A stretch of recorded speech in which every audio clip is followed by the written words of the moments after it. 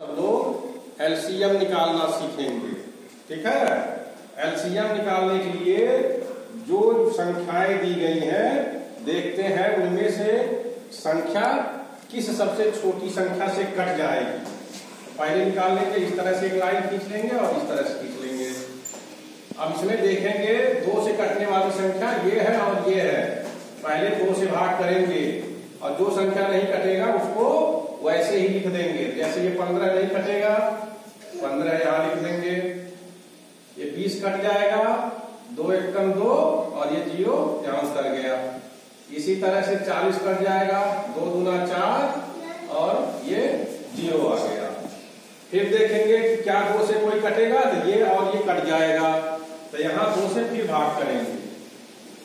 Light खींच देंगे, फिर ये नहीं कटेगा तो इसको ऐसे ही लिख देंगे फिर दो से दस को काटेंगे, दो बचे दस, फिर दो से बीस को काटेंगे तो दो दहाए बीस। ये दस आ जाएगा। फिर काटेंगे तो ये देखेंगे, ये दस दो से कट जाएगा। फिर दो से काटेंगे। पंद्रह नहीं कटेगा, पंद्रह को ऐसे ही लिख देंगे। फिर ये पाँच भी नहीं कटेगा, इसको भी लिख देंगे। और ये दस कट जाएगा, दो बचे दस अब इसके बाद दो से कोई नहीं कटेगा, फिर देखेंगे इसमें से कौन सी कोई संख्या तीन से कटेगी तो ये पंद्रह तीन से कट जाएगा। तो तीन से भाग करेंगे। तो तीन का भाग पंद्रह करेंगे, तीन बचे पंद्रह। ये तीन से नहीं कटेगा तो ऐसे ही लिख देंगे। ये भी नहीं कटेगा ऐसे ही लिख देंगे। फिर ये तीनों देख रहे हैं, पाँच से कट जाएगा। तो पाँच से भाग कर देंगे। भाग करेंगे तो पाँच एक कम पाँच पाँच एक कम पाँच पाँच एक कम पाँच। जब सबके नीचे एक आ जाए तो ये भाग करने वाली प्रक्रिया खत्म हो जाती है। इसके बाद इन सब का ये जो किनारे लिखे हुए हैं, इनका आपस में गुणा करते हैं। वही एलसीएम होता है।